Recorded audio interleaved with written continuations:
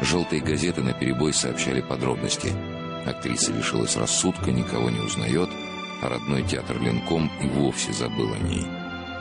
Что было правдой, а что ложью, никого особенно не интересовало. В стране и народу, которому актриса отдала всю свою жизнь, было просто не до Пельцер. А через год ее не стало.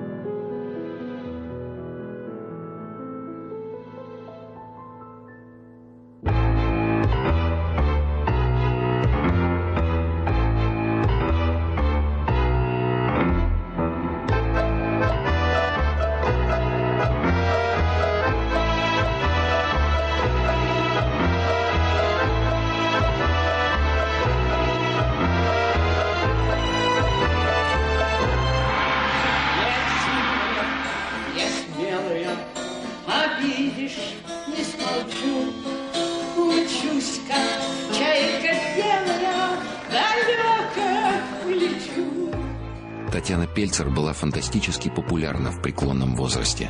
Она, пожалуй, единственная из советских актрис, которую зритель никогда не видел молодой. Хотя Пельцер было всего немногим за 40, когда стала складываться ее актерская карьера, она сразу начала со старушек, мгновенно прославивших ее на весь Советский Союз. И в театре «Линкольн», где Татьяна Ивановна провела последние 20 лет своей жизни, у нее с первых дней появилось прозвище «Бабушка». Помимо работы в театре, Пельцер постоянно снималась. В больших картинах, фильмах поменьше, яролашах, петелях, даже озвучивала мультфильмы. Роли чаще были эпизодические, но уже при жизни Пельцер стала живой легендой отечественного экрана. Миллионы зрителей обожали ее как родную. И только самые близкие знали, какой ценой этой вечной бабушке давался ее экранный образ. И что оставалось там, за благополучным фасадом ее жизни. А были там и разлука с единственным любимым человеком, и разбитые мечты о семейном счастье, и многолетняя забота о больном отце, и смерть младшего брата, и еще много того, что она так старалась скрыть даже от самых близких друзей. В одном из писем она пишет брату. «Иногда накатывает, и хочется волком быть. Ну, пожалуешься, но пожалеют. А что дальше?» А дальше приходит убеждение, что ты одинокий, старый и несчастный неудачник. Не люблю жалость. Она убивает и расслабляет. Татьяна Ивановна не хотела, чтобы ее жалели. Она хотела, чтобы ее обожали. Мудрая, талантливая Пельцер была гениальной актрисой не только на сцене и в кино. Она была актрисой в жизни. Она придумала себе образ счастливой старухи и вошла в него раз и навсегда. Пельцер стала любимой бабушкой многих поколений зрителей. Работа заменила актрисе семью, детей и все то, что необходимо любой женщине. И произошла странная метаморфоза. В какой-то момент Татьяна Ивановна сама поверила, что она счастлива. В коллективе Ленкома до сих пор вспоминаются ее и шутки, ее и э, прибаутки, ее и э, смешные поступки и забавные, и такие саркастического характера. Она, у нее юмор был такой добрый-добрый-добрый, а потом такой сарказм. В 80 лет темперамента и жизнелюбия у Пельцер было хоть отбавляй. Говорят, она не входила, а влетала в театр. Редко пользовалась служебным лифтом. Бабушку жалели, берегли ее силы. В ответ она сыпала остротами, которые становились крылатыми фразами в театре. Марку Захарову она часто повторяла, что ни один спектакль от репетиций лучше не становится, и посмеивалась над собственной популярностью. Однажды Пельцер предложили поместить ее фото на рекламе сигарет. В ответ она выдала «Когда-то я мечтала, чтобы мои портреты были на афишах, а теперь лишь бы не на туалетной бумаге». Когда вот молодые девочки у нас, а, там актрисы вдруг начинали в плохом настроении – какие-то катаклизмы жизненные. Она говорит, вы молодые, красивые, чего вам? Радуйтесь жизни. Сама Пельцер познала радости богемной жизни еще в ранней молодости, когда встретила мужчину, в которого отчаянно влюбилась и вышла за него замуж. История ее замужества похожа на авантюрный и вместе с тем очень грустный роман – 1920 году Татьяна Пельцер поступает в труппу Московского передвижного театра политуправления. Однажды после спектакля к ней подошел невысокий молодой человек с букетом ландышей. Ганс Тейблер, немецкий коммунист, учился в Москве в школе Коминтерна. Пройдет время, и Татьяна Ивановна поймет, что тогда она встретила главного человека в своей жизни.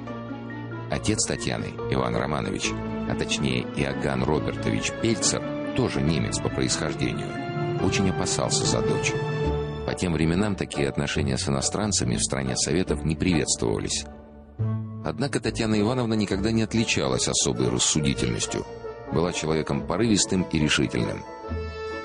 Позднее коллеги по театру сатиры назовут ее мастером резкого жеста и крутых решений.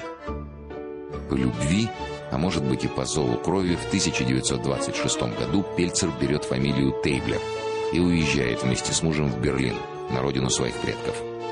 Тогда ей казалось, что навсегда. Теперь у Татьяны Тейблер есть все, чтобы чувствовать себя счастливой.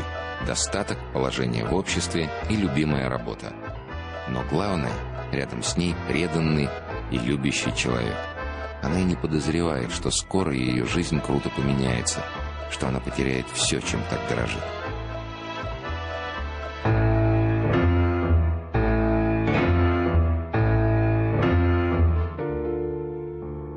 До сих пор неизвестно точное число фильмов с ее участием.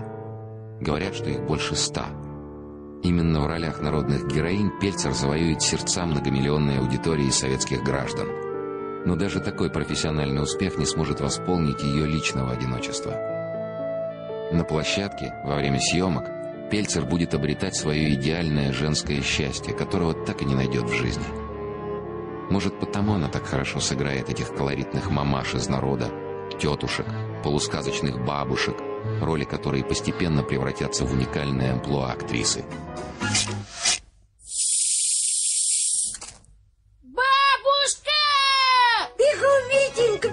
маленький.